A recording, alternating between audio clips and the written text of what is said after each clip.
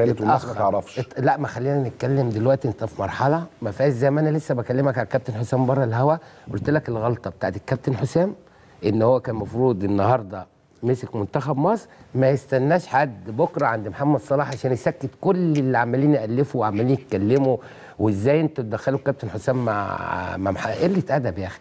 لا كان الكابتن حسام من أول يوم نجي خد السلام منتخب مصر فيه كان تاني يوم هو الكابتن إبراهيم راحوا عملوا مقابلة مع محمد صلاح. طب وليه ما بتقولش يا كابتن رضا يعني محمد صلاح لما فيكتوريا مسك المنتخب كلمه هناه عن المنتخب. وأنا عارف إن ده حصل. وفيكتوريا قال إن محمد صلاح كان أول مكالمة ليا. آه لما لما مدربين تانيين مسكوا المنتخب محمد صلاح كلمهم بيهنيهم. ليه ما تقولش إن محمد صلاح هو اللي بادر بال, بال... ما يبادر في حاله واحدة الصغير هل أنت وأنت موجود في توتنهام وفي الأندية العظيمة اللي أنت كنت بتلعب فيها وجه مدرب منتخب مصر.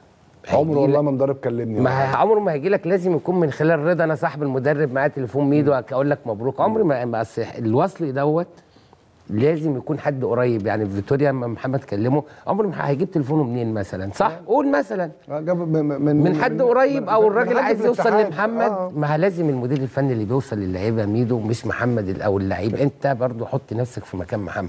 المفروض الطبيعي بأعظم واحد إحنا بقالنا أكتر من 10 سنين عايزينه هو ده المكان السليم في التوقيت السليم إن الكابتن حسام يكون مدير فني لمنتخب مصر. طبعا. كان المفروض الكابتن حسام حسن طبعا حسام أنا بكلمه اخويا طبعا وعشره اخونا يعني. الكبير كلنا. ربنا يديله الصحة.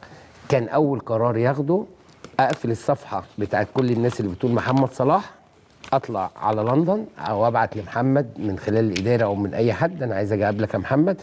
ده الطبيعي. كان هيتقابل أحسن محمد عمر ما في حد طلب منه يروح يقابله في الملعب هناك أو في ملعب التمرين غير لما بيفتح. تخيل لما يكون مدير فني رسمي انت هتلاقي يورج- يورجن كلوب أحلى مقابلة. تلاقي كل الدنيا كلها. أروح بقى اقعد مع الراجل. وفي ميزة تانية. إيه اللي نجح ميدو مع الكابتن محمود الجوهري؟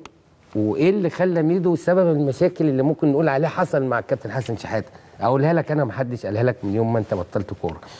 كابتن جوهري لو تفتكر مع ميدو كان كل تمرينة تخلص يمشي الناس يجيبني أفضل أعمل بال 20 30 كروس من نص الملعب ومن جنب الملعب على ميدو وعلى رجل عشان أعرف وأنا بلعب ميدو تحركات إيه لو حطيتها له على دماغه هيجيبها إزاي؟ لو حطيتها له على دماغه أرضي. فاكر انت الفترة آه دي؟ فاكر. ده في اسماعيليه هل اتعامل معاك مع الكابتن حسن شحاتة كده؟ لا كانت أصل كل مدرب ليه مدرسة قول لأ. لا قول لأ. لا طيب. كابتن حسن ليه مدرسة تانية يعني. نظام شغل مختلف يعني, ما لازم بقى إحنا عايزين ننجح. ما إحنا من عايزين نوصل انه يعني انت كنت تتمنى ان كابتن حسام وكابتن إبراهيم يروحوا لمحمد صلاح؟ مش اتمنى. ده الإجباري عشان تنجح. انت عندك أعظم لعيب موجود دلوقتي عالميا. وطريقة لعبه زي طريقة ميدو. فاكر لما انت كان ليك طريقة خاصة؟ آه، نجحك كابتن جوهري. آه, آه. ما أنا مش هاجي مع الكابتن حسن شحاتة أقول لي ميدو انزل نص الملعب. ولا انت كنت مع الكابتن حسن شحاتة بتخليني قاعد أتجنن. انت بتنزل ليه نص الملعب انت؟ والكورة في كنت انت فاهم؟ مع ده مدرب. كابتن جوهري كان بيقول لك واحد اتنين تلاتة عشان انت عارف ده يعملها لك كده عبد الستار يعملها لك كده. الكابتن حسام طب. رأيك كابتن حسام وكابتن إبراهيم يعني آه آه نصيحة. لا بغير موضوع محمد صلاح آه. خلاص. يعني خلاص عرفت موضوع محمد صلاح. ويروح للنني. وحرام وظلم أكبر ظلم اللي بيحصل في محمد النني. أنت أكتر واحد تتكلم عن نادي الأرسنال لأن أنا طول عمري ما بشجعش غير الأرسنال. تمام؟